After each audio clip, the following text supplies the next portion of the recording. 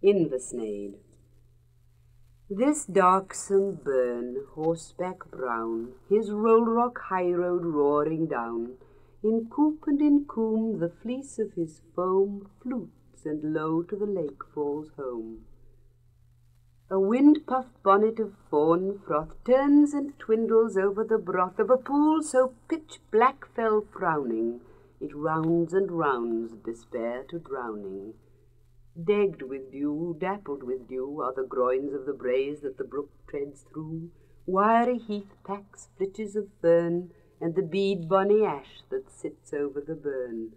What would the world be, once bereft of wet and of wildness? Let them be left, oh, let them be left, wildness and wet.